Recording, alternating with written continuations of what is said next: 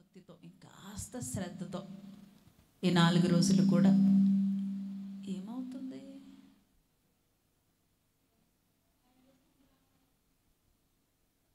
దేవునికి స్తోత్రం. Hallelujah hallelujah hallelujah audio input ఆన్లో ఉందా? ఇది రీసౌండ్ రాకుండా చూడండి ముందు. తగ్గించండి. అందరం కలిసి ఒక పాట పాడుకుని ప్రభుని ఆరాధించుకుందాం. మన యొక్క రక్షణ ద్వారం పాటల పుస్తకం నుండి. నూట నలభై నాలుగవ పాట. పాడండి అమ్మ మీరు కూడా నాతో కలిసి చిన్నగా.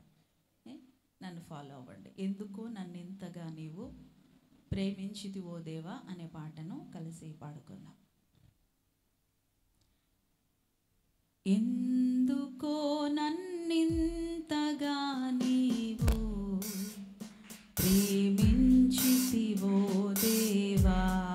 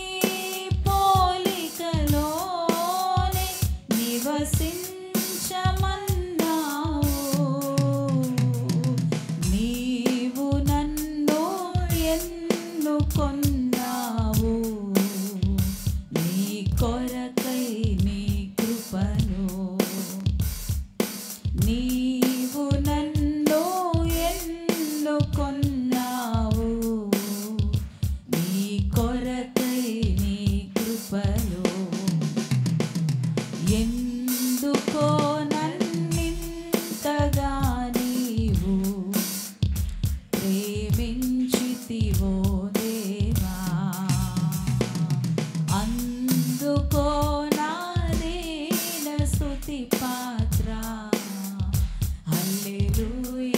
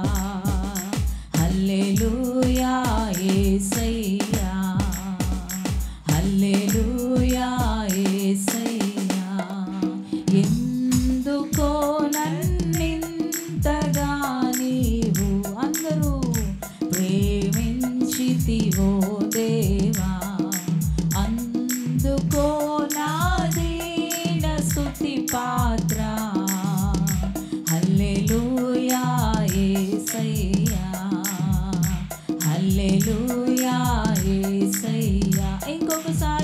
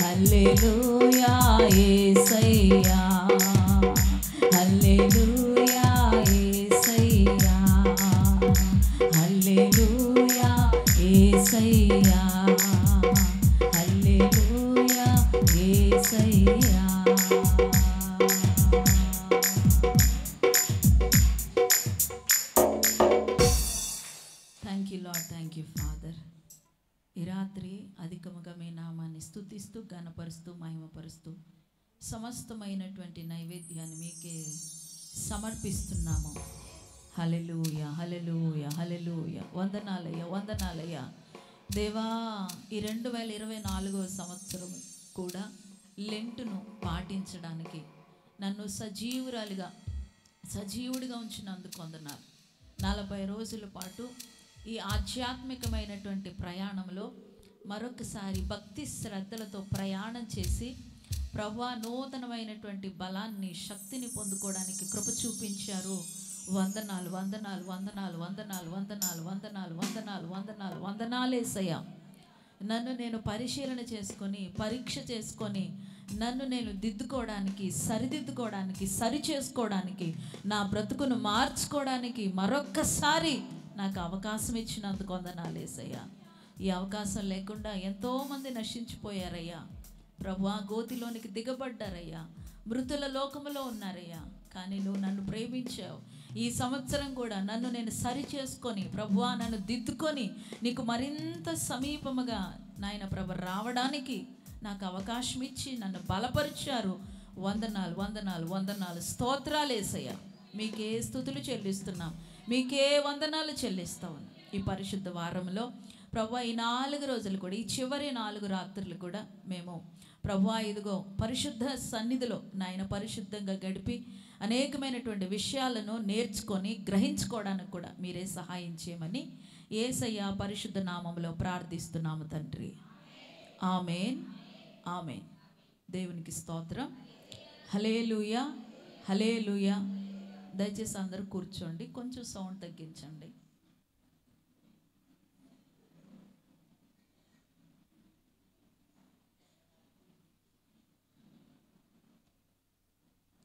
మన ప్రభును రక్షకుడైన దేవాతి దేవునికి ఇప్పుడు ఎల్లప్పుడూ సదాకాలము మహిమ కలుగునుగాక ఆమెన్. ఈ పరిశుద్ధ వారంలో మొదటి రోజు అలాగే నలభై రోజుల్లో ముప్పై ఐదవ రోజు. ప్రభుని ఆరాధించడానికి ఆయన సన్నిధిలో గడపడానికి దేవుని పిల్లలుగా కూడొచ్చినటువంటి మీ అందరికీ కూడా ప్రభు అయినటువంటి యేసుక్రీస్తు ప్రభువారి ప్రశస్తమైనటువంటి నామంలో నా యొక్క హృదయపూర్వకమైనటువంటి వందనాలు. అందరికీ వందనాలమ్మా. అందరికి వందనాలు. దేవుడు మిమ్మల్ని అందరినీ కూడా దీవించును గాక. ఆమె వాక్యంలోనికి వెళ్దామండి. మనము శనివారం ఒక అంశాన్ని ప్రారంభించాము. అంతకుముందు రెండు అంశాలను ధ్యానం చేసుకున్నాము. శనివారము ఒక మాట నేను చెప్పడం ఆరంభించాను. ఏంటంటే అపవా అపవాది తంత్రములను ఎదుర్కొనుట ఎలా? ఎక్కడ తగ్గిస్తున్నారు మీరు?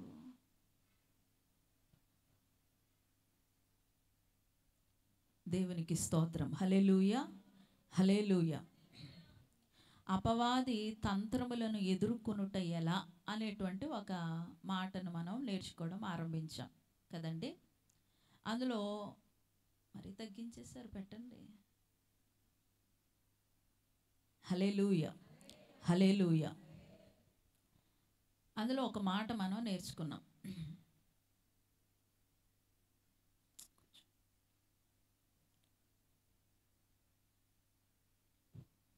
దేవునికి మహిమ కలుగునుగాక ఆమెన్.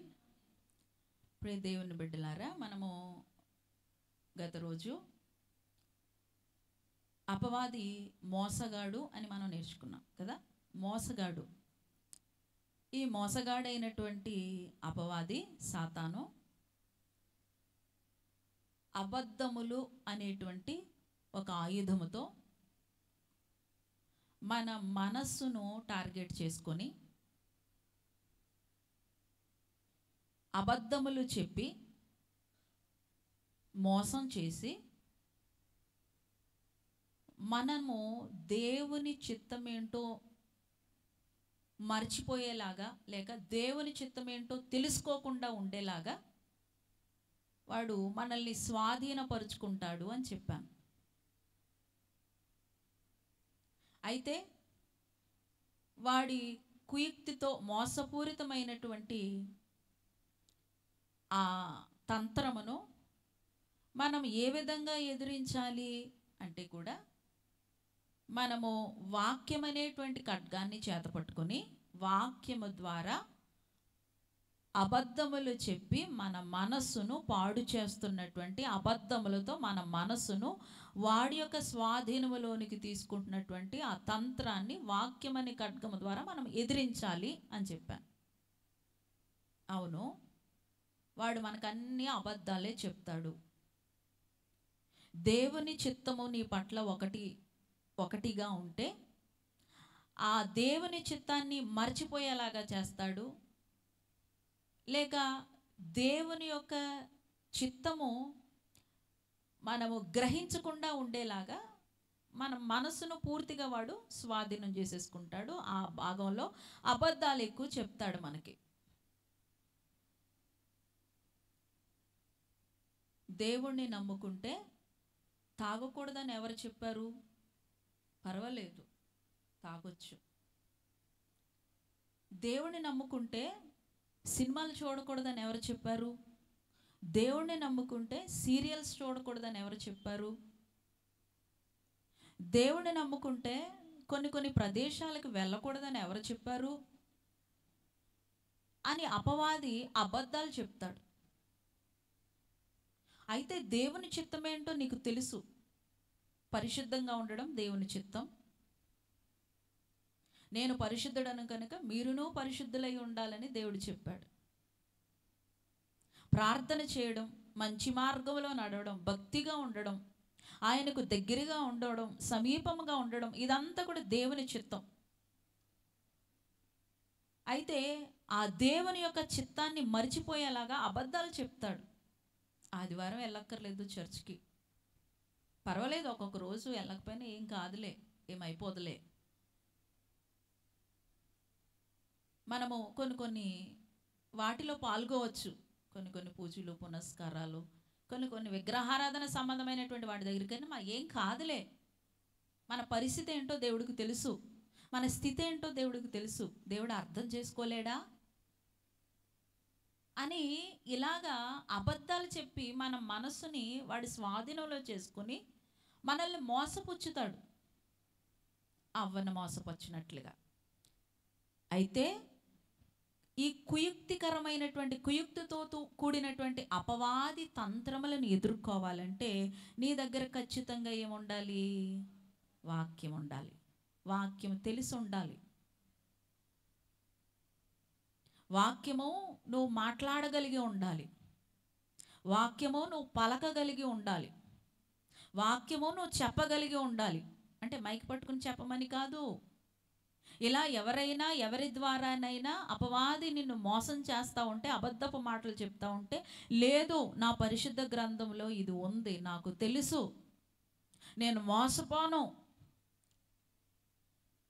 అని నువ్వు పలకగలగాలి. అంటే దేవుని యొక్క వాక్యం నీ నోటుతో పలకాలి. దేవుని యొక్క వాక్యము నీకు తెలిసి ఉండాలి. అప్పుడు మాత్రమే ఈ మోసగాడైనటువంటి అపవాది యొక్క తంత్రములను నువ్వు ఎదిరించగలవు. లేని పక్షంలో మొదటి మెట్టులోనే నువ్వు ఓడిపోతావు. ఇప్పుడు ఈరోజు రెండోది చెప్తాను ఈ రోజున అపవాది వాడి యొక్క స్వభావాన్ని ఎలా చూపిస్తున్నానంటే మొదట వాడు మోసగాడు. ఈరోజు వాడి స్వభావం నేను ఎలా చూపిస్తున్నానంటే వాడు నాశనము చేయువాడు. హీ హీజ్ ఏ డిస్ట్రాయర్ వాడు నాశనము చేయవాడు. ఈ పేర్లన్నీ వాడికే చెందుతాయి. అపవాదికి మోసగాడు అబద్ధికుడు అబద్ధాలకి జనకుడు నాశనము చేయువాడు. ఇప్పుడు ఈ నాశనము చేయువాడైనటువంటి సాతాను వాడు ప్రయోగించేటువంటి ఆయుధం. ఒక ఒక ఒక ఆర్డర్లో మనం చెప్పుకుంటున్నాం కదా వాడు నేచర్. మొదటిది మోసగాడు. ఈరోజు నాశనం చేయవాడు. వాడు నేచర్ వాడి స్వభావము నాశనం చేయవాడు డిస్ట్రాయర్. చూద్దాం చూడండి మొదటి పేతురు ఐదవ అధ్యాయము ఎనిమిదవ వచనం చదువుదాం. పేతురు ఐదవ అధ్యాయము మొద- ఎనిమిదవ వచనం. నిబ్బరమైన బుద్ధి గలవారై మెలకువగా ఉండుడి. ఆ, మీ విరోధి అయిన అపవాది గర్జించు సింహము వలె ఎవరిని మృంగుదునా అని వెదుకుచూ తిరుగుచున్నాడు. ఈ వాక్యము మనందరికి కూడా వెల్ నోన్డ్ వర్స్ అంటే అందరికీ చాలా సుపరిచితమైనటువంటి వాక్యం. చాలాసార్లు మనం దీన్ని చదివాం. మరొకసారి చదువుతా ఉన్నా నిబ్బరమైన బుద్ధి గలవారై. ఈ నిబ్బరమైన అనేటువంటి మాట దగ్గర మనం హుందాగా అని పెట్టుకోవచ్చు. నీ బుద్ధి ఎలా ఉండాలి? నిబ్బరంగా హుందాగా ఉండాలి. భయం భయంగా బుద్ధి లేనట్టుగా అలా కొంచెం ఉన్నట్టు లేనట్టుగా. నీ బుద్ధి ఎలా ఉండాలి? హుందాగా ఉండాలి. హుందాతో కూడినటువంటి బుద్ధితో ఎలా ఉండమంటుంది దేవుని యొక్క వాక్యం? మెలకువగా ఉండండి. అంటే మెలకువ అనే మాట దగ్గర అప్రమత్తంగా అని పెట్టుకోండి. మెలకువగా అంటే అప్రమత్తంగా. అంటే జాగ్రత్తగా ఉండండి. ఇప్పుడు మన ఊరిలో సాయంత్రం పూట ఒక ఊరేగింపు వెళ్ళింది. పోలీసు వాళ్ళు అది అనౌన్స్మెంట్ చెప్పిస్తున్నారు. ఏంటి? రాత్రి సమయంలో జాగ్రత్తగా ఉండండి. ఎవరు బయటికి రావద్దు. దొంగల ముఠా తిరుగుతుంది. వాళ్ళు చిన్నపిల్లల శబ్దాలు చేస్తూ ఏడుస్తున్నట్లుగా శబ్దాలు చేస్తూ లోనున్నటువంటి వారిని బయటికి రప్పించడానికి వారు రకరకాలైనటువంటి శబ్దాలు చేస్తూ ఉన్నారు. బయటకు వచ్చిన తర్వాత నిర్దాక్షిణ్యంగా చంపేసి నగలు డబ్బు అంతా దోచుకుని వెళ్ళిపోతున్నారు. కాబట్టి ఏమంటారు? జాగ్రత్తగా ఉండండి అప్రమత్తంగా ఉండండి. ఇప్పుడు నేను ఏదైతే మాట చెప్పానో అది నిజమే. జాగ్రత్తగా ఉండండి. దేవునికి స్తోత్రం. హలే నాకు రెండు రోజుల క్రితమే ఈ న్యూస్ నా యూట్యూబ్ నా వాట్సాప్లో వచ్చింది. ఏమో అది నిజమో కాదో జాగ్రత్తగా ఉండడం మంచిదే కదా. ఎవరో ఒక ఆయన ఒక స్త్రీ తల నరికేసి ఇలా తలకాయ పట్టుకొని దొరికిపోయాడు పోలీసులకి.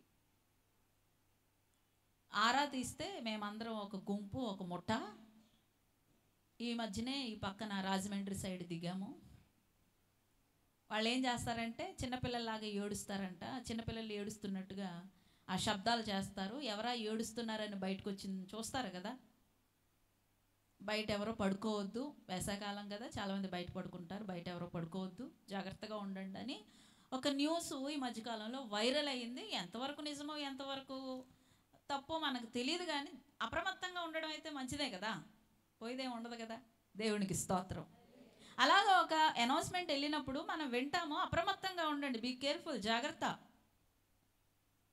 ఇప్పుడు దేవుని యొక్క వాక్యం కూడా అదే చెప్తుంది. మంచి బుద్ధి హుందా బుద్ధి నిబ్రమైనటువంటి బుద్ధితో మీరు ఎలా ఉండాలి? అప్రమత్తంగా ఉండాలి. ఎందుకంటే డేంజర్ ఈజ్ హెడ్. ముందేముంది? ప్రమాదం ఉంది. ప్రమాదం మీ జీవితంలోనికి రాబోతుంది. ఏ రూపంలో ప్రమాదం మీ జీవితంలోనికి రాబోతుంది? అంటే అంటే కూడా మీ విరోధి అయిన అపవాది అంటే మీ విరోధి మీ శత్రువు అయినటువంటి సాతాను ఎలా ఉన్నాడు? గర్జించు సింహము వలె పలానా వాళ్ళని మింగాలనా? ఎవరిని మింగుదని? అంటే ఆ టైంకి ఎవరు దొరికితే వాళ్ళు. ఇప్పుడు ఆ దొంగలు స్కెచ్ చేసుకుని ఊర్లోకి దిగుతారు. ఎలా దిగుతారు? పలానా వాళ్ళని టార్గెట్ చేసి దిగుతారా? కాదు. ఊర్లోకి దిగుతారు. ఎవరు దొరికితే వాళ్ళని. ఇప్పుడు సాతాను కూడా అదే ప్లాన్ మీద తిరుగుతున్నాడు. ఎవరినొకరిని మింగాలి. ఎవరినొకరిని భక్షించాలి. అదే వాడి ఎజెండా అదే వాడి టార్గెట్. ఎవరినొకరిని భక్షించాలి మృంగి ఎవరినొకరిని నాశనం చేయాలని మన విరోధి అయిన మన విరో మన యొక్క శత్రువు అయినటువంటి సాతాను గర్జించుకుంటూ సింహం వలె తిరుగుతున్నాడు. సో మీరు అప్రమత్తంగా ఉండండి. జాగ్రత్తగా ఉండండి. మెలకువగా ఉండండి అని దేవుని యొక్క వాక్యం మన హెచ్చరిస్తుంది. సాతాను నాశనకారి నాశనము చేయువాడు. హీజ్ అ డిస్ట్రాయర్ జాలి దయ కనికరము సానుభూతి ఇవేమి కూడా వాడి డిక్షనరీలో ఉండవు. సాతాను డిక్షనరీలో ఈ జాలి దయ కనికరము కరుణ సానుభూతి ఇవేమి ఉండవు. ఇప్పుడు మనం ఉన్నాము శత్రువు అయినా సరే మన దగ్గరికి వచ్చి ఇలా చేతులు జోడించి అయ్యో తప్పైపోయింది క్షమించమంటే? మనలో ఏం లక్షణాలు ఉన్నాయి? దేవుని లక్షణాలు ఉన్నాయి. మనం దేవుని పిల్లలము కదా. ఆయన స్వారూప్యముతో మనం పుట్టాం కాబట్టి అన్నీ కాకపోయినా కొన్ని ఫుల్ ఫ్లెడ్జ్డ్గా హండ్రెడ్ పర్సెంట్ పరిపూర్ణంగా లేకపోయినా మనలో ఎక్కడో నిగూఢంగా దాగి ఉన్నటువంటి ఆ కరుణ బయటకు వస్తుంది. ఏ కరుణ? ఆ కరుణ కాదు. దేవునికి స్తోత్రం. ఏ కరుణ? మన లోపల ఉన్నటువంటి ఆ కనికరము కరుణ జయ జాలి దయ ఈ ప్రేమ సానుభూతి అనేది బయటకు వచ్చి ఆ సరే పోన్లే. ఇంకో ఛాన్స్ ఇస్తున్నాలే. పో అవతలకి. అంటాం. కానీ సాతానుగాడి యొక్క డిక్షనరీలో అసలు ఈ పదాలకే చోటు లేదు. వాడికి జాలు ఉండదు దయ ఉండదు కనికరం ఉండదు. కొంతమంది మనుషులు వాడి యొక్క స్వభావాల్ని కలిగినటువంటి వారు ఉన్నారు అందుకే మనుషులు అంత ఈజీగా ఇలా తల నరికేసి మొండి మేము అలా పక్కన పెట్టుకుని తల పట్టుకుని ఇలా కూర్చున్నాడు. ఏంటి? అపవాది యొక్క మనిషి. జాలి ఉండదు. ఆ బంగారం కోసం ఆ డబ్బుల కోసం మనుషుల్ని నిర్దాక్షిణ్యంగా పొడిచి పొడిచి పొడిచి చంపేస్తారు. ఎందుకు? జాలి లేదు వాళ్ళకి. ఎందుకంటే వారిలో ఉన్నది అపవాది యొక్క ఆత్మ. సో సాతాన్ యొక్క డిక్షనరీలో జాలికి దయకు కనికిరానికి అసలు చోటే లేదు. ఆ చాప్టరే ఉండదు. వాడి దగ్గర ఎంతసేపు కూడా కక్ష తీర్చుకుందామా పగ తీర్చుకుందామా? మనుషుల మీద ఎక్కి తొక్కుదామా? వాళ్ళని అధపాతాళానికి తొక్కేద్దామా? వాళ్ళని ఏడిపిద్దామా? వాళ్ళని బాధ పెడదామా? వాళ్ళని నాశనం చే చేసేద్దామా? ఇదే ఎజెండాతో అపవాది తిరుగుతున్నాడు. సో అప్రమత్తంగా ఉండండి. దేవుని యొక్క వాక్యము ఈ హోలీ వీక్లో ఈ పరిశుద్ధ వారంలో మనకి చెప్తున్నటువంటి మాట ఏంటంటే అప్రమత్తంగా ఉండండి. దేవునికి స్తోత్రం. ఎందుకంటే ఆల్రెడీ మనం అందరం కూడా మారు మనసు పొంది రక్షణ పొందేశాం. ఏ రోజుకి ఆ రోజు మనల్ని మనం సరి చేసుకుంటూ ఎలా అయితే మన దేహాన్ని మనము ప్రతిరోజు సబ్బు ద్వారా శుభ్రం చేసుకుంటున్నామో అలాగే మన ఆత్మను కూడా మన రక్షణ వస్త్రాన్ని కూడా ఏ రోజుకి ఆ రోజు ఉతుక్కుంటూ భద్రంగా కాపాడుకుంటాం. ఇప్పుడు ప్రత్యేకంగా మనం మోకరించి క్షమించుము ఏ ఏ ప్రభువా? ఓ ప్రభువా దేవుని స్తోత్రం. లేకపోతే మన నేను పాడే నేను పాటది పాపిని యేసు ప్రభు. ఏదో మన తృప్తి కోసం పాడుకుంటాం అంతే అది. అలా రావాలి. దాన్ని కూడా నేను తప్పు పట్టడం లేదు. మన దేవుని సన్నిధిని సమీపించాలి. కానీ ఇక అక్కడే ఆగిపోకూడదు. ఇప్పుడు మన మీద అపవాది విరోధంగా పోరాడడానికి వాడి అస్త్రాలు వాడు రెడీ చేసుకుంటున్నాడు. వాడి ప్రయత్నాలు వాడు రెడీ వాడి వాడు తయారు చేసుకు వాడి ప్రయత్నాలు వాడు చేస్తున్నాడు. మన కొరకు కట్టబడుతున్నటువంటి ఆ దేవుని యొక్క రాజ్యంలోనికి ప్రవేశించకుండా ఏ విధంగానైనా మనల్ని అడ్డుకోవాలని ఏ విధంగానైనా అక్కడికి చేరుకోకుండా మనల్ని మధ్యస్థకంగా నాశనం చేయాలని వాడు ప్రయత్నం చేస్తూ ఉండగా మనం నిద్రపోతూ ఉంటేలాగా అప్రమత్తంగా ఉండాలి మెలకువగా ఉండాలి. కాబట్టి ఈ లెంట్ చివర్లో మనం నేర్చుకున్నటువంటి మాట అపవాది గురించి మనం తెలుసుకోగలిగి ఉండాలి. వాడి తంత్రాలను మనం ఎదిరించగలిగినటువంటి శక్తిమంతులుగా ఉండాలి. ఎందుకంటే దేవుని యొక్క వాక్యం చెప్తా ఉంది మీరు పోరాడునది శరీరాలతో కాదు ఎవరితో? దురాత్మ శక్తులతోనూ అంధకార సంబంధమైనటువంటి చీకటి శక్తులతోనూ కంటికి కనబడినటువంటి ఒక శక్తితో ఒక అదృశ్య శక్తితో మనం పోరాడుతూ ఉన్నాం. ఆ అదృశ్య శక్తితో మనం పోరాడుతూ ఉన్నప్పుడు ఎంత అప అప్రమత్తంగా ఉండాలి? ఎంత జాగ్రత్తగా ఎంత మెలకువగా ఉండాలి? వాడి బలం ఏంటో వాడి బలహీనత ఏంటో వాడు మన మీద ప్రయోగిస్తున్నటువంటి ఆయుధాలు ఏంటో మనం తెలుసుకోకపోతే ఎలా మనం వాడిని ఎదిరించగలము? అస్తమాలు అయ్యగారు అందుబాటులో ఉండరే. అస్తమాలు అమ్మగారు అందుబాటులో ఉండరు. అస్తమాలో నీ కొరకు ప్రార్థన చేసేటువంటి తోటి సహోదరి సహోదరులు అందుబాటులో ఉండరు. నీకై నీవు అపవాది యొక్క తంత్రాలను తెలుసుకొని నీకై నీవు ఎదిరించగలిగినటువంటి శక్తిమంతుడవు శక్తిమంతురాలవు కావాలి. దేవునికి స్తోత్రం. ఇక వీటి కొరకు ఎవరి మీద ఆధారపడకూడదు. దేవునికి స్తోత్రం.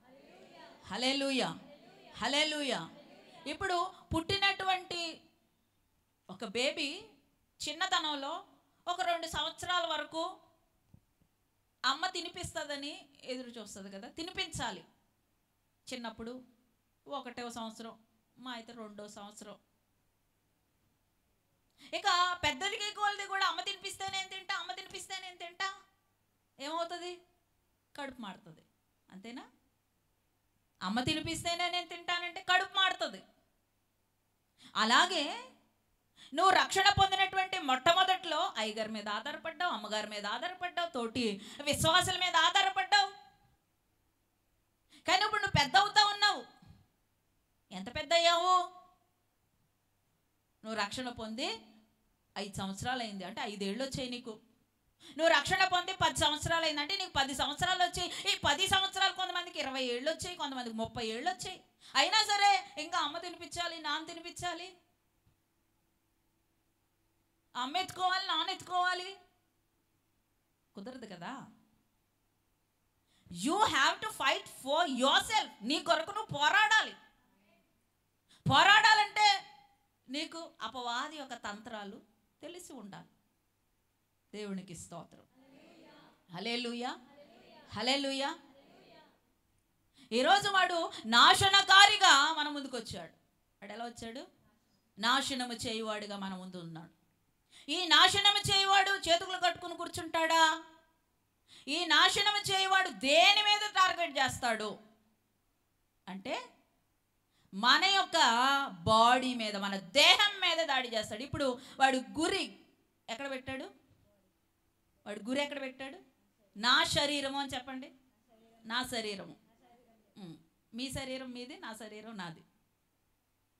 ఎవరికి వాళ్ళగా? సాతాను. ఈ నాశనకారి నీ బాడీ మీద నీ శరీరం మీద గురిపెట్టాడు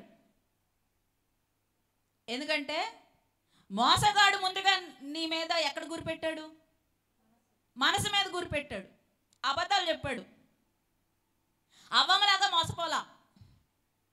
దేవుని చిత్తం మర్చిపోయేలాగా దేవుని చిత్తాన్ని కప్పిపుచ్చేలాగా దేవుని యొక్క చిత్తాన్ని గ్రహించకుండా ఉండేలాగా అబద్ధాలు చెప్పాడు మోసం చేశాడు అబద్ధాలు చెప్పాడు మోసం చేశాడు. అయినా సరే నీ చేతిలో ఏముంది నీ మనసులో ఏముంది నీ హృదయంలో ఏముంది? దేవుని యొక్క వాక్యం ఉంది కానీ ఉంది కాబట్టి వాడిని ఏం చేస్తావు?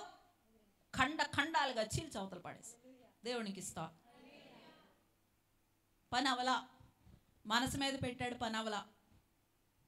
ఎందుకంటే నీ దగ్గర చాలా బలమైన ఖడ్గం ఉంది. బలహీనమైన ఖడ్గం ఉంటే అసలు ఖడ్గమే లేకపోతే? అసలు ఖడ్గమే లేకపోయినా ప్రమాదమే? బలహీనమైన పదులు లేని ఏదో అంటారు చూడండి ఒక్కొక్క కత్తి అంటే చచ్చినోడు ముక్కు కోసిన తెగదంట అలాంటి కత్తి పట్టుకొని ఉంది నా దగ్గర ఉంది నా దగ్గర అంటే అవదు.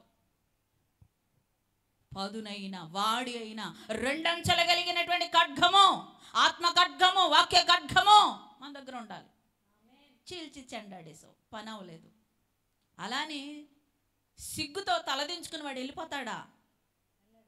వాడికి ఇంకో పేరు ఏంటంటే సిగ్గు లేనివాడు సిగ్గు లేని జన్మ ఏదైనా ఉందంటే వాడిదే. కొన్ని కొన్నిసార్లు కొంతమంది పిల్లల్ని సిగ్గులేని జన్మరా నీదే అని తిడతా ఉంటారు. కొంతమంది అలాగే ప్రవర్తిస్తారు కూడా సిగ్గులేని జన్మ. అంటే అసలు ఎందుకు జన్మించారో తెలియదు అలా సిగ్గు లేకుండా అలాగే పొద్దున్నే లేచి పాతికేళ్ళు వచ్చినా ముప్పై ఏళ్ళు వచ్చినా అలాగే మంచం మీద పడుకుంటా పనికి వెళ్ళకుండా పాటకి వెళ్ళకుండా. తినేయడం పడుకోవడం తినేయడం పడుకోవడం. అయ్యో ఇన్ని సంవత్సరాలు నా తల్లిదండ్రులు. కూతురు కానీ కొడుకు కానీ ఎవరైనా ఒకరే ఇక్కడ. ఇన్ని సంవత్సరాలు మా అమ్మ నా కోసం వండి పెడుతుంది. ఒకరోజు మా అమ్మను కూర్చోబెట్టి ఏ సండేయో లేకపోతే ఏదైనా స్పెషల్ ఒకేషన్లోనో మదర్స్ డే రోజునో ఫాదర్స్ డే రోజునో కూర్చోబెట్టి నేను మా అమ్మకు వండి పెడతాను. ఇన్ని రోజులు నన్ను పోషించారు. ఇక నుంచి నా తల్లిదండ్రులు నేను కష్టపెట్టకుండా వాళ్ళని చక్కగా కూర్చోబెట్టి నేను చూసుకుని నేను సంపాదించి వాళ్ళని ఫీడ్ చేస్తాను వాళ్ళని నేను పోషిస్తాను అని లేకుండా కొంతమంది ఇంకా సిగ్గు లేని జన్మ అంటారనమాట ఇంక అంతే దేవునికి స్తోత్రం. హలే హలే నేను ప్రయత్నించి ప్రయత్నిస్తున్నటువంటి వాళ్ళ కోసం చెప్పట్లేదు. బొత్తిగా ఇర్రెస్పాన్సిబుల్గా అంటే బాధ్యత లేకుండా ఇంకా అలా బలాదూరుగా తిరిగేసి వస్తూ ఉంటారు. వాళ్ళ గురించే మాట్లాడుతున్నానండి. దేవునికి స్తోత్రం. ఇప్పుడు సాతానుగాడు కూడా సిగ్గు లేని జన్మ. వాడికి సిగ్గే ఉండదు. ఒకసారి నేను అవమానపరచబడ్డాను ఓడిపోయాను ఖడ్గమతో నన్ను ఖండ ఖండాలుగా చీల్చి చెండాడి అవతల పడేసింది అని చెప్పి సిగ్గుతో తలదించుకొని చేతులు కట్టుకుని వెళ్ళిపోయే రకం కాదు వాడు.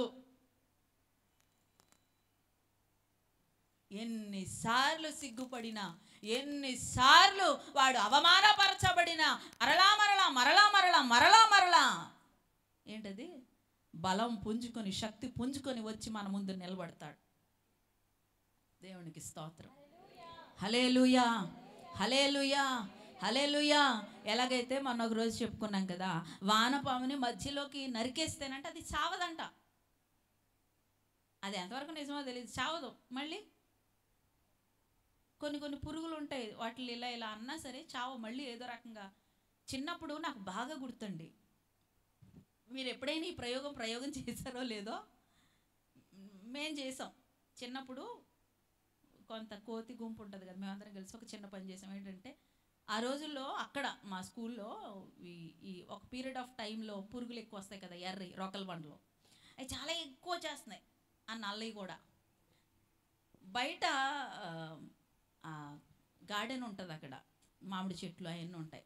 ఏం చేసాం అసలు? అసలు ఏం అవుతుందా అని చెప్పి పెద్ద గొయ్యి తీసి ఓ రెండు ఒకటేమో గొంగల పురుగుని ఒక గోతులో ఇంకో గొంగ ఇంకొక నల్ల పురుగుని ఇంకో గోతులో పెట్టి మట్టి కప్పేసాం.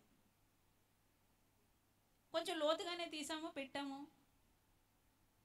మళ్ళీ ప్లే అవర్స్ ఉంటాయి కదా నెక్స్ట్ డే ప్లే అవర్స్లో అప్పుడే వెళ్ళాలి అక్కడికి. వెళ్ళి తీసి చూస్తే అది బతికే ఉంది.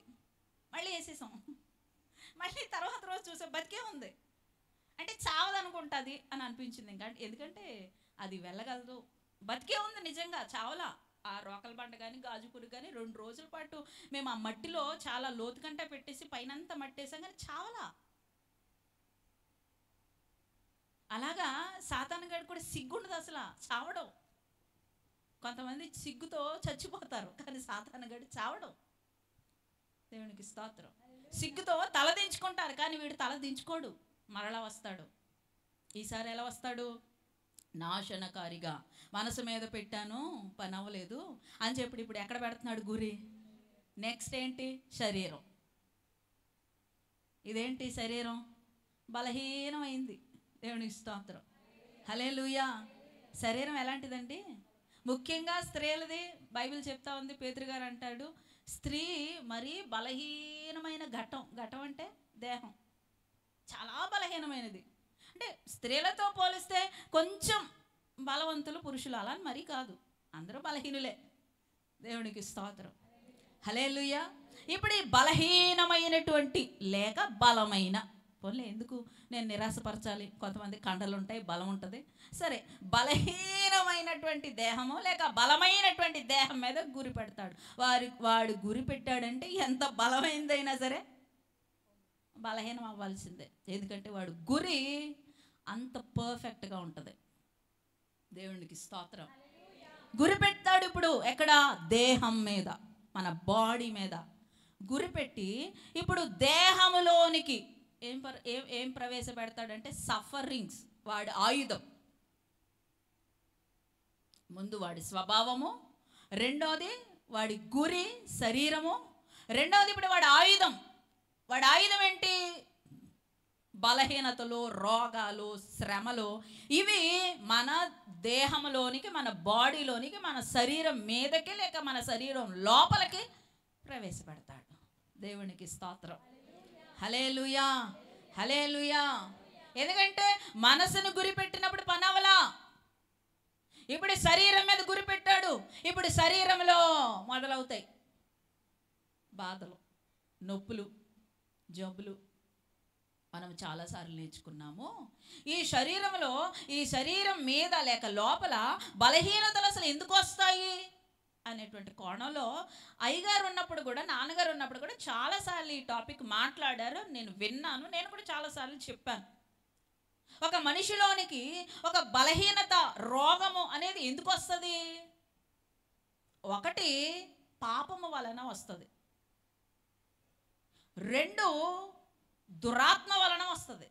ఎక్కువ శాతము దురాత్మ వలన వస్తుంది. మూడు అమ్మా గుర్తుందేమన్నా? ఆ, మా పాప అంటున్నారు. ఓకే. మీకు గుర్తున్నంత వరకు చెప్పండి. మూడు దేవుని మహిమ కొరకు వస్తుంది. నాలుగు నేను అనుకుంటున్నాను నాలుగు ఆ, దేవుని మహిమ అనేలాగా ఇది మర్చిపోయినామా నేను? దేవునికి స్తోత్రం. హలే హలే ఆ వృద్ధాప్యం వల్ల వస్తుంది. ఏంటిది?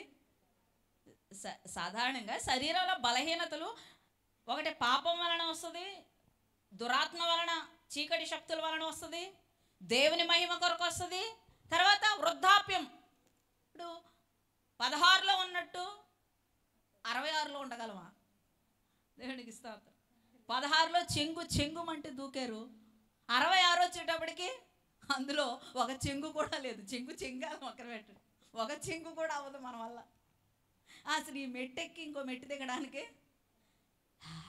ప్రపంచం అంతా చుట్టేసి వచ్చినట్టు భారం కదా? కొంతమంది వృద్ధాప్యంలో వచ్చినటువంటి బలహీనతలు కూడా బాధపడుతూ ఉంటారమ్మా వృద్ధాప్యము. ఆ మోకాళ్ళలో ఉండేటువంటి జిగురు ఏమైపోతుంది? అరిగిపోతుంది. శరీరం లోపల ఉండేటువంటి ఆర్గన్స్ ఏవైతే ఉన్నాయో అవయవాలు బలహీనమైపోతూ ఉంటాయి. ఇలాగా ఇప్పుడు ఒక ఒక ఈ క్లాత్ కొన్నాను నేను. ఇది పది రూపాయలు పెట్టుకున్నా లక్ష రూపాయలు పెట్టుకున్నా కొన్నాను మొత్తానికి. ఇప్పుడు లక్ష రూపాయలు పెట్టుకున్నానని నేను లక్ష సంవత్సరాలు వాడగలనా దీన్ని? పోనీ పది రూపాయలకు పెట్టుకున్నానని? పది రూపాయలది పిండి కొద్దే రొట్టె అన్నట్టు పది రూపాయలది పది రోజులు వస్తే లక్ష రూపాయలది కనీసం ఓ పది సంవత్సరాలు వస్తుంది. అనుకుందాం మంచిగా జాగ్రత్తగా వాడుకుంటే. ఏమవుతుంది? కొన్ని రోజులకి కలర్ షేడ్ అవుతుంది ఫేడ్ అవుతుంది చివికిపోతూ ఉంటుంది. అలాగే మన బాడీ మన దేహం కూడా పదహారులో చాలా నున్నగా సాఫ్ట్గా గ్లోయింగ్గా ఉంటుంది మన దేహం. మెల్లిమెల్లిగా ఫార్టీస్లోకి ఫిఫ్టీస్లోకి వచ్చేటప్పుడు మెల్లిమెల్లిగా ఏమవుతుంది? అది షింక్ అవుతూ ఉంటుంది. ఇలా ముడుచుకుపోతూ ఉంటుంది దేహం. లోపల అవయవాలు మనకు కనపడవు కానీ అవి కూడా అలాగే బలహీనం అయిపోతూ ఉంటాయి.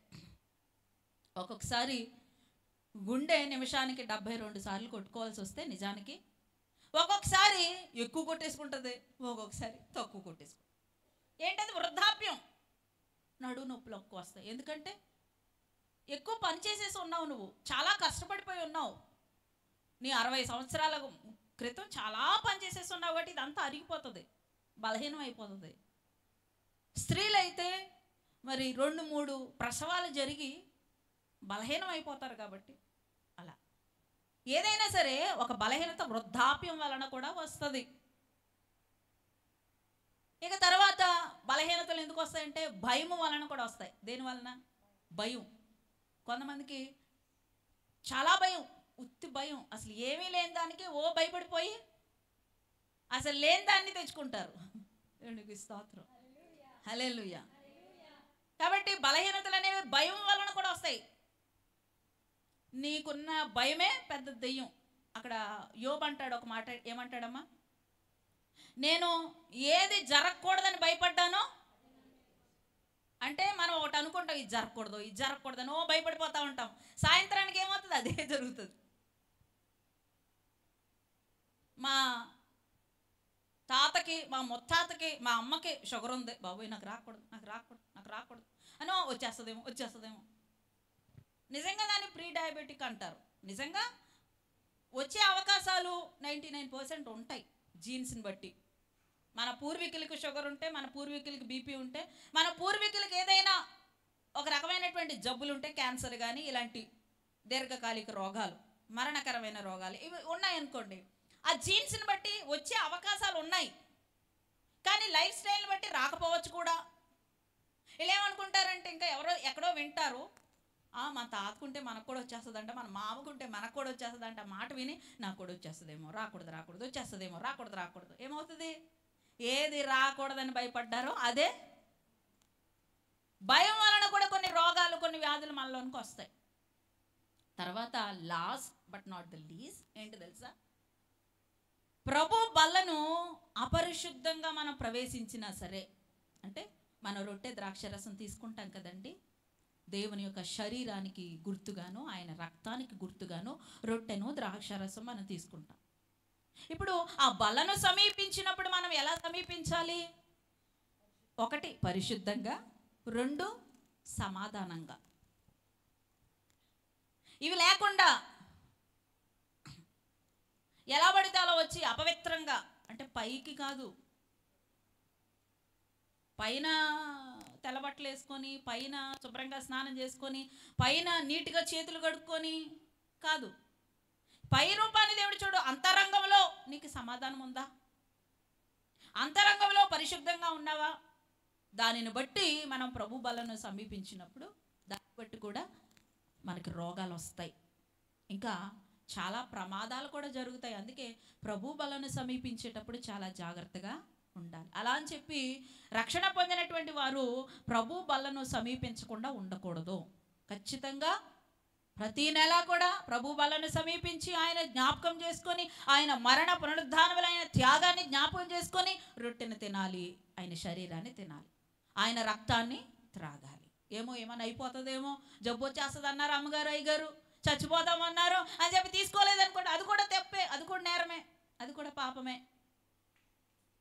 జాగ్రత్తగా తీసుకోవాలి. ఇలాగా ఒక మనిషికి బలహీనతలు అనేవి భయం వల్ల వస్తాయి ప్రభు బలను సరిగ్గా ఆచరించకపోవడం వలన వస్తాయి దేవుని మహిమ కొరకు వస్తాయి వృద్ధాప్యం వలన వస్తాయి పాపం వలన వస్తాయి దురాత్మ వలన వస్తాయి. ఇంకేమైనా మర్చిపోయినా? ఓకే దేవునికి స్తోత్రం. హలే లూయ ఇది మనం చాలాసార్లు నేర్చుకున్నటువంటి సబ్జెక్టే. కానీ ఎక్కువ శాతము ఒక మనిషి యొక్క దేహంలోనికి సాధారణుడు టార్గెట్ చేసినప్పుడు మన బాడీని మన శరీరాన్ని టార్గెట్ చేసి రోగాల్ని వ్యాధులను శ్రమలను మన దగ్గరికి ప్రవేశపెడతాడు. దేవునికి స్తోత్రం. హలేలుయ హలేలుయ ఇప్పుడు బైబిల్లో మనం చూడగలిగినట్లయితే అందరికీ తెలిసినటువంటి ఎగ్జాంపుల్ ఎవరు? యోబు గారు. యోబు గారు మనసు మీద ముందు దాడి చేశాడు. చేశాడా? మనసు మీద. అక్కడ దేవుని రాజ్యానికి వెళ్ళాడు. అక్కడ సభ జరిగింది. అక్కడేమో ఆయన ఎవరో? దేవుడు. పెద్ద గొప్ప చెప్పుకోవడానికి నాకు కొడుకున్నాడు కింద. అవును మన గురించి మన దేవుడు గొప్ప చెప్పుకోవాలి. దేవునికి స్తోత్రం. హలేలుయ్య ఏ మీ అబ్బాయి డాక్టర్ చదివితే వెళ్ళి చూడాలి మా అబ్బాయి డాక్టరు మా అబ్బాయి డాక్టరు మా అబ్బాయి ఇంజనీరు మా అబ్బాయి అమెరికాలో చెప్పుకోము మనం. మరి మన దేవుడు కూడా మన గురించి అలా చెప్పుకోవాలి కదా? నాకు కూతురుంది. ఎంత మంచిదో అబద్ధాలు ఆడదు. మోసం చేయదు అన్యాయం చేయదు. ఎంత నిజాయితీగా ఉంటుందో ఎంత ప్రార్థనా పర్రాలో ఆదివారం ఆదివారం గుడికి వస్తుంది పాటలు పాడుతుంది ప్రార్థన చేస్తుంది. పరిచర్యలో పాలి భాగస్రాలు చెప్పుకోద్దా ఆయన? నాకు ఓ కూతురు ఉంది పనికి మాలింది. ఇలా బాగుందా? నాకు ఓ కూతురు ఉంది అసలు ప్రార్థన అంటే గిట్టదు. మందిరానికి అసలు హాజరే కాదు. పైపెచ్చు రక్షణ తీసుకో ఇది బాగుందా? ఈ ఈ ఎలివేషన్ బాగుందా? అంటే మన గురించి దేవుడు ఇంట్రడ్యూస్ చేయాల్సి వచ్చినప్పుడు వంద నాకు పనికిమాలిన కూతురు లేక వంద నాకు పనికిమాలిన కొడుకు అని చెప్పుకుంటే బాగుందా? లేకపోతే నాకు భూలోకంలో ఒక కుమార్తె ఉంది ఒక కుమారుడు ఉన్నాడు ఆహా ఓహో అంటే బాగుందా? రెండోదే బాగుంది కదా? దేవునికి స్తోత్రం. నాన్న అలా ఒంగొంగు చూడకపోతాడు కూర్చోవచ్చు కదరా? దేవునికి స్తోత్రం. హలే లూయా ఇప్పుడు ఆయన గొప్ప చెప్పుకుంటున్నాడు నాకు భూలోకంలో కొడుకున్నాడు. గొప్ప చెప్పుకుంటున్నాడు. ఆహా. నా గురించి కూడా అలా చెప్పుకుంటే బాగుండు ఎంత బాగుండు అనిపిస్తుంది నాకు ఇప్పుడు. దేవునికి స్తోత్రం. మీకు కూడా అనిపిస్తుందా? దేవునికి స్తోత్రం. హలేలుయా అలా చెప్పుకోవాలి. ఏదైనా అవకాశం వచ్చినప్పుడు దేవుడు మన గురించి అలా గొప్పగా చెప్తే. ఇంకా ఇంకేం సాధించాలి మనం? ఏం సాధించాలి? హలేలుయా ఏం సాధిస్తే మనకు తృప్తి వస్తుంది? ఏదైనా ఎంత సాధించినా ఎంత సంపాదించినా తృప్తి అనేది రాదు. హలే లుయా హలే లుయా హలే లుయా కాబట్టి అక్కడ దేవుడు అక్కడ సాతాను వస్తే భూలోకంలో నా కొడుకున్నాడు. చూసావా ఎప్పుడైనా? ఎంత మంచోడో తెలుసా? యథార్థవంతుడు నీతిమంతుడు భక్తిపరుడు. వ్యాపారం చేస్తాడు కానీ అసలు నిక్కర్స్గా ఉంటాడు. ఏ వ్యాపారం? వర్తకుడు అంటే వ్యాపారస్తుడు. నిక్కర్స్ తక్కిడికి చింతపండు ఎక్కడో పాల్లో నీళ్ళు కలపడో. ఇంకేంటి? రకరకాలే ఉంటాయి? నాకు గమ్మును గుర్తురావు కదా. దేవుడికి ఇస్తావు చాలా నిక్కర్స్. వ్యాపారం అంటే అంత కరెక్ట్గా చేస్తాడు వ్యాపారం. మనుషులు మోసం చేయడు అన్యాయం చేయడు. అంత మంచోడు. అప్పుడు సాతాన్ అన్నాడు కదా ఏమన్నాడు? ఆ పెద్ద గొప్ప చెప్తున్నావు కానీ నీ కొడుకు గురించి పెద్ద గొప్ప చెప్పుకుంటున్నావు కానీ ఆయనకి మొత్తం అన్నీ ఇచ్చావు. కుటుంబం ఇచ్చావు పిల్లలు ఇచ్చావు ఆస్తి ఇచ్చావు అంతస్తు ఇచ్చావు పేరిచ్చావు పలుకుబడి ఇచ్చావు. ఇన్ని ఇస్తే ఎవరు ఉండరు ఎవరైనా ఉంటారు. అతనికిని అతని ఇంటికిని అతనికి కలిగిన దాని అంతటికిని కంచి వేసి కూర్చున్నావు కదా నువ్వు. ఇంతగా ఆశీర్వదిస్తే నిన్ను కాక ఇంకెవరినయ్యా ఫాలో అవుతాడు? నిన్ను కాక ఇంకెవరిని వెంబడిస్తాడు? ఒక్కసారి నాకు ఛాన్స్ ఇచ్చి చూడు. ఒక్కసారి నాకు ఛాన్స్ ఇస్తే అసలు నేనేంటో చూపి నా తడాక చూపిస్తాను అన్నాడు. దేవుడి దగ్గరే ఛాలెంజ్ చేసి. నా దగ్గరే ఛాలెంజ్ చేస్తావా? ఏ దేవుడు పౌరుషం లేనుడా? హలే దేవుని పౌరుషం నా దగ్గరే ఛాలెంజ్ చేస్తావా? చూసుకో. సరే. ఒక పరీక్ష పెట్టు. నా కొడుకుకి ఒక విశ్వాస పరీక్ష పెట్టు అని చెప్పి ఆ కంచెని తీశాడు. ఇప్పుడు సాతాను ముందుగా దేని మీద దాడి చేశాడండి? మెంటల్గా మానసికంగా దాడి చేశాడు. శరీరాన్ని టచ్ చేయలా వాడు దాడి ముందుగా మనస్సు మీద జరిగింది. యోబు గారి యొక్క సంపదని ఆస్తిని అంతటిని కూడా సర్వనాశనం చేసేసాడు. మరీ ముఖ్యంగా అతని మనసు ఎంత కృంగిపోయేలాగా చేశాడంటే అతనికి ఉన్నటువంటి పది మంది సంతానాన్ని చంపేశాడు. ఏడుగురు కొడుకులు ముగ్గురు కూతుర్లు ఉంటే మొత్తం అందరినీ ఒకే రోజున చంపేశాడండి సాతాను. ఆస్తులు పోయినాయి అంతస్తులు పోయినాయి పేరు పోయింది పలుకుబడి పోయింది. పిల్లలు చచ్చిపోయారు ఒక్కడే మిగిలిపోయాడు. ఒక్కడే. మట్టికి ఓ ముళ్ళు పక్కన పెడతాడు దేవుడు అది తీడు. ఓ ముళ్ళు ఎప్పుడు ఉండాలి? దేవునికి స్తోత్రం. ఆ ముల్లే వాళ్ళ భార్య. ఓ, ఏదో మన వాక్యంలో ఉంటుంది. ఏముంటుందంటే భార్య దొరుకుని వానికి మేలు దొరికెను అని ఉంటుంది. కానీ కొంతమంది జీవితాల్లో పాపం అందరి జీవితాల్లో కాదు. భార్య దొరికిన వారికి మేలు దొరికాను అని ఉంటే కొంతమంది జీవితాల్లో భార్య దొరికిన వారికి మేకు దొరికాను అన్నట్టు దాన్ని గుచ్చుకుంటా ఉంటుంది మేకులాగా భార్య అనేది గుచ్చుతూ గుచ్చుతా ఉంటుంది? మనం మేకుల్లా కాకుండా మన భర్తలకి మేలుగా ఉందాం. దేవునికి స్తోత్రం. ఆమె చెప్పండి. మన భర్తలకి మేకుల్లాగా కాకుండా మేలుగా ఉందాం. అసలు చెప్పట్లేదు ఉండరనుకుంటా. మళ్ళీ ఒకసారి మన భర్తలకి మేకుల్లాగా కాకుండా మేలులుగా ఉందాం. అది కూడా నీరసంగానే చెప్తున్నారు. శోకం లేదండి. దీనికి మాత్రమే మేము ఒప్పుకోమన్నా వెనకాల అస్సలు చెప్పట్లా. అలాగే ఉంటారా మేకుల్లాగా? దేవునికి స్తోత్రం. హలేలుయా వాళ్ళు సుత్తు పట్టుకుని ఉంటే మేము మేకుల్లా కాకపోతే ఎలా ఉంటాం వాళ్ళ చేతిలో ఏముంది? సుత్తు ఉందండి. హ్యామర్ ఉందండి. సుత్తు ఉంది ఆ సుత్తుతో మమ్మల్ని కొడుతున్నారు. కాబట్టి మేము మేకుల్లాగానే ఉంటాం. ఓకే. వాళ్ళ చేతుల్లో హ్యామర్ ఉన్నా సరే వాళ్ళ చేతుల్లో సుత్తు ఉన్నా సరే మనం మేలుగానే ఉందాం. ఆమెన్. హలెలుయా హలెలుయా ఆ సుత్తి చేతిలో ఏదో ఒక రోజున రోజ్ ఫ్లవర్ వస్తుంది. దేవునికి స్తోత్రం. మీ ఆయన చేతిలో సుత్తి బదులు ఏమొస్తుంది రోజ్ ఫ్లవర్ వస్తుంది. దీనికన్నా ఆమె చెప్పుకోరా? హలెలుయా రోజ్ ఫ్లవర్ వస్తే ఆ రోజ్ ఫ్లవర్ పట్టుకుని ఓ రోజు నీ ముందు నుంచొని అమ్మా ఇంతవరకు హ్యామర్తో నేను ఎత్తి చెదగొట్టాను కానీ ఇదిగో ఈ పువ్వు పెట్టుకో ఐ లవ్ యూ అని చెప్పే రోజు వస్తుంది. హలేలుయా హలేలుయా రావాలని కోరుకోండి వస్తుంది. అది ఈ రాత్రే రావచ్చు. ఈ వర్తమానం వెళ్ళి అయ్యయ్యో అనవసరంగా ఇన్ని రోజులు కొట్టేశానే మే సుత్తుతో కొట్టానే అని వెళ్తా వెళ్తా రోజ్ ఫ్లవర్ తీసుకుని మీకు ఇవ్వచ్చు ఐ లవ్ యూ చెప్పొచ్చు. ఆమె చెప్పుకోండి. హలేలుయా హలేలుయా హలేలుయా మంచిదమ్మా. మరొకసారి చెప్తాను పాల్ గారు ఇప్పుడే ఎంటర్ అయ్యారు. దేవుని స్తోత్రం. హలేలుయ హలేలుయ దేవునికి మహిమ కలుగును కాక అందరికీ రోజ్ ఫ్లవర్స్ వచ్చి మా రోజేకి రాలేదు అనుకో దేవునికి మహిమ కలుగునుగా హలేలుయ హలేలుయ హ్యామర్ వెళ్ళిపోయి ఏమి రావాలమ్మా? రోజ్ ఫ్లవర్ రావాలి మన ఆయన చేతిలోకి. దేవునికి మహిమ కలుగును గాక. ఆమెన్. పాపం మేకు నుంచాడు దేవుడు పక్కన. మనసు మీద దాడి చేస్తే అస్సలు తొణకలేదు బెణకలేదు ఎవరో? యోబు గారు. దేవునికి స్తోత్రం. హలేలుయా ఎందుకంటే ఆయన దగ్గర ఏముంది? వాక్యం ఉంది. హలేలుయా ఇవన్నీ నాకు ఎక్కడి నుంచి వచ్చాయి? అక్కడి నుంచి వచ్చాయి. నేను తల్లి గర్భంలో నుండి ఎలా వచ్చాను? పట్టు చీరతో వచ్చానా? పట్టు బట్టలతో వచ్చానా? లేదు దిగంబరిగా వచ్చాను న్యూడ్గా వచ్చాను.